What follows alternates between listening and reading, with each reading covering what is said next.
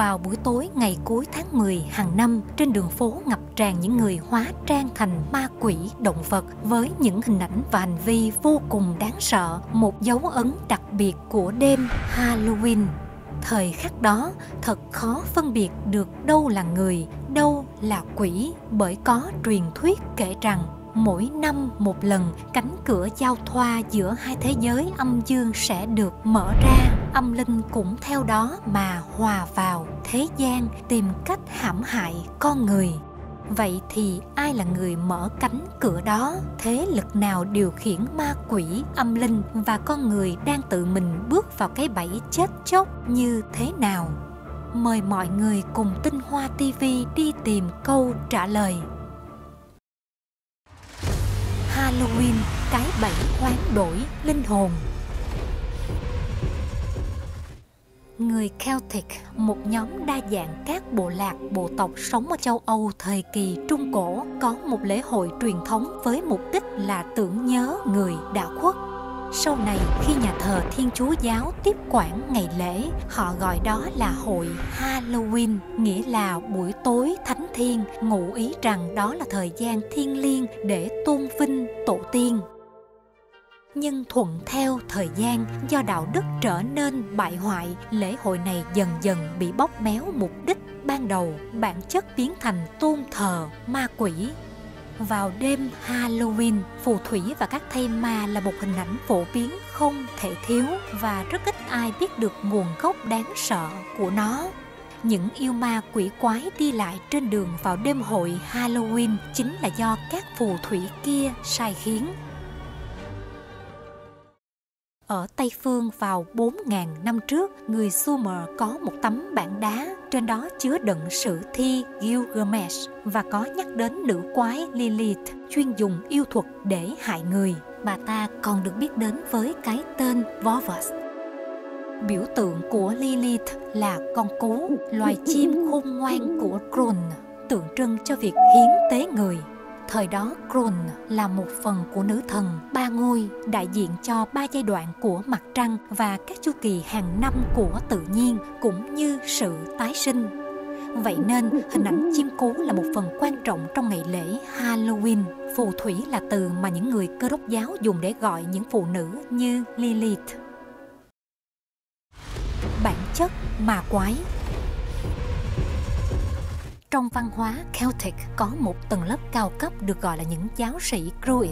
Họ tôn thờ chúa tể bóng tối, có hình tượng một con dê mang sừng hưu. Đây chính là một trong những hình tượng của quỷ Satan. Bùa chú cũng bắt đầu được sử dụng để giao tiếp với các sinh mệnh bại hoại tầng thấp tương truyền rằng vào đêm Halloween, những giáo sĩ Druid sẽ đến gõ cửa từng nhà trong khu vực yêu cầu người chủ các gia đình phải giao nộp một người thân để hiến tế nếu bị từ chối, họ sẽ để lại một câu thần chú lên ngôi nhà đó, vẽ một hình lục giác bằng máu người lên cửa. Khi ấy, ma quỷ sẽ bị thu hút bởi mùi máu tanh và sao xấu cạnh. Chúng lập tức đến và xâm nhập vào ngôi nhà, khiến một hoặc nhiều người trong nhà phát điên, sau đó là chiếm hữu thân xác của họ vì câu chuyện này mà người ta truyền tai nhau rằng vào đêm Halloween cần phải hóa trang thành bộ dạng của ma quỷ, càng giống càng tốt, với mục đích không để chúng nhận ra mà hãm hại. Và đó được xem là biện pháp tự bảo vệ một cách hữu hiệu nhất. Nhưng người ta không ngờ rằng tà thuyết vô căn cứ đó lại vừa đúng là một cái bẫy.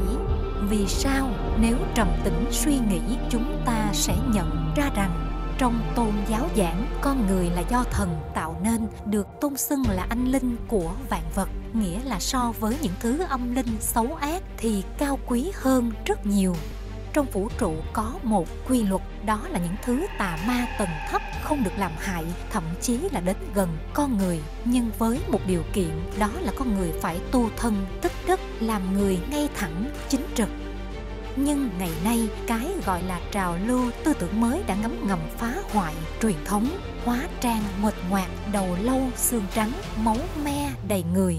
Đây chẳng phải tự hạ thấp bản thân, xem mình là đồng loại với ma quỷ hay sao? Nguy hiểm hơn nữa, đó là vừa khớp lại là phương cách chiêu mời chúng đến hủy hoại chính mình người xưa vì sao luôn dặn rằng khi ngủ không được vẽ gì lên mặt điều đó không phải là vô căn cứ chính bởi vì họ rất rõ đạo lý phía sau việc hóa trang kinh dị kia thời gian tới, Tinh Hoa TV sẽ giới thiệu đến quý khán giả một căn bệnh kỳ quái xuất hiện do việc vẽ ngoạch ngoạc lên mặt. Ma quỷ ở không gian khác một khi thấy ai đang họa theo hình hài của chúng, ngay lập tức nó sẽ đến để bám vào, mức độ nặng nhẹ tùy vào nhiều nhân tố.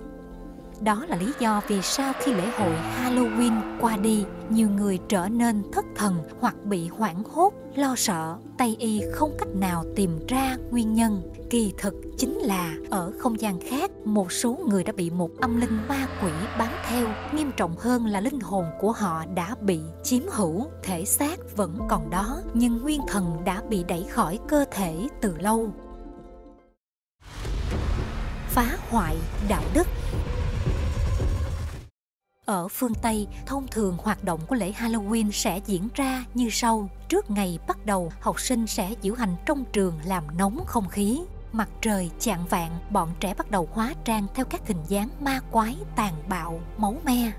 Màn đêm buông xuống, những ma quỷ kia bắt đầu xuất hiện ra phố đi dạo. Mỗi khi bọn trẻ gõ cánh cửa của một gia đình, chúng sẽ nói trick or treat nghĩa là không cho kẹo sẽ có chuyện. Trò chơi không này không được uống nắng lại, thậm chí còn được người lớn ngấm ngầm chấp nhận, khuyến khích. Người ta đi tìm linh cảm mới lạ từ các loại hóa trang kỳ dị để gây sự chú ý từ người khác. Càng tà ác, càng xấu lạ thì dường như lại càng nổi bật. Mọi giá trị quan trong nhận thức thông thường đã hoàn toàn bị đảo lộn. Còn rất nhiều mặt tối phía sau ngày lễ Halloween mà rất ít khi chúng ta được nghe đến, ví như Arizona Wilder, người đầu tiên dũng cảm bước ra lên tiếng vạch trần những nghi lễ tà ác của tổ chức ngầm Illuminati vào những năm 90 cho biết tất cả những thứ quái dị trong lễ Halloween ngày nay, từ những đồ trang trí đáng sợ, những người ăn mặc như ác quỷ hồn ma, nhuộm máu giả lên người thay ma, vân vân, tất cả đều nằm trong kế hoạch để toàn bộ con người dần làm quen với sự xuất hiện sau này của chúng. Ma quỷ đã lên một kế hoạch tỉ mỉ để con người tin tưởng dần dần trở thành đồng loại với chúng, cuối cùng là đi cùng với chúng xuống địa ngục đáng tiếc nhiều người ngày nay thà chọn tin vào ma quỷ chứ không tin vào thần. Lại thêm rất nhiều quan niệm biến dị được ngụy trang dưới lớp vỏ hào nhoáng để lừa gạt nhân loại. Vì để thỏa mãn chút thú vui nhỏ bé mà phóng túng chạy theo ý muốn của bản thân, tự mình chiêu mời, rắc rối. Thần phật vẫn đang đợi con người, tỉnh ngộ.